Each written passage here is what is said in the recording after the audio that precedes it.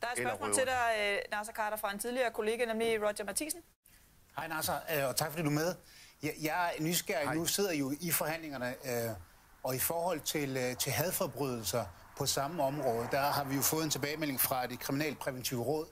Når de har spurgt offrene udsat for vold, der er øh, 3.500 til 5.000 af dem siger, at det var racistisk motiveret. Derudover er der samme mængde, som siger, at det godt kunne være racistisk motiveret. Det vil sige, at vi har faktisk en situation, hvor at det er et, øh, et, en vold, der sker hver time, 24 timer i døgnet, hele året rundt, øh, samtidig med, at det kun er 400 øh, retssager, der bliver, der bliver åbnet om året. Øh, hvad, hvad, hvad har I i forhold til forhandlingerne? Fordi jeg synes egentlig, som udgangspunkt, det er en god idé, det der med at skulle kunne, kunne gøre, øh, lave en anonym anmeldelse, også i forhold til, til voldtægt og så videre.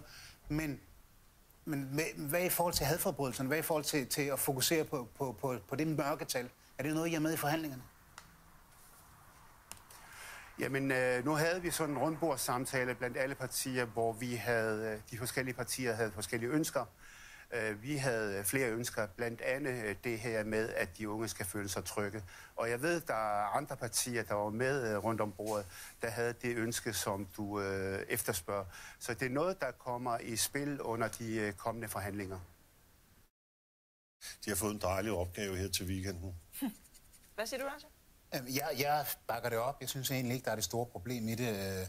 Altså, hvis en borger indgiver en anmeldelse, så det eneste, der ændrer sig, det er jo, at det borgerens navn ikke bliver offentliggjort i forhold til den øh, formodede gerningsmand.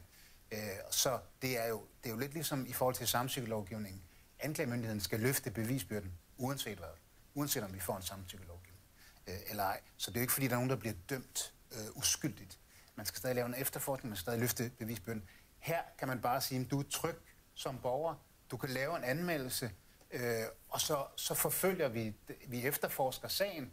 Hvis vi finder ud af, at der faktisk har været et eller andet kriminelt forhold, som bakker din anmeldelse op, så kan vi så gå videre med det. Så ved jeg ikke, om det så er der, man skal tage navnet op, eller hvordan.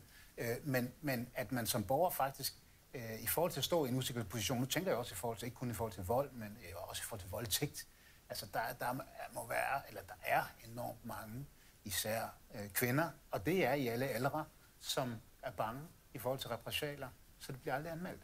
Øh, hadforbrydelser, det samme.